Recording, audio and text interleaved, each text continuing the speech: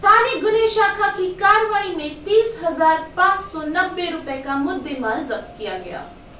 जिस तरह से अवैध शराब की बिक्री धड़ल्ले से हो रही है, वहीं अब गुटखा, पान मसाला, साथ ही गांजा बिक्री की खबरें भी सुर्खियों में है। पुलिस की ओर से इन अवैध धंधे करने वालों पर रोक लगाकर माल जब्त किया जा रहा है। स्थानीय गुना शाखा की टीम ने आज फिर ऐसी एक कार्रवाई को अंजाम दिया। स्थानीय गुना शाखा को गुप्त सूचना मिले कि बंगाली कैंप परिसर में एक व्यक्ति गांजा बिक्री कर रहा है। तभी स्थानीय गुना शाखा की टीम मौके पर पहुँची। आरोपी की ओर दो किलो नौ सौ अठहत्तर ग्राम गांजा पाया गया। तकरीबन तीस हज़ार पाँच सौ नब्बे रूपए का मुद्देमाल पुलिस ने जब्त किया।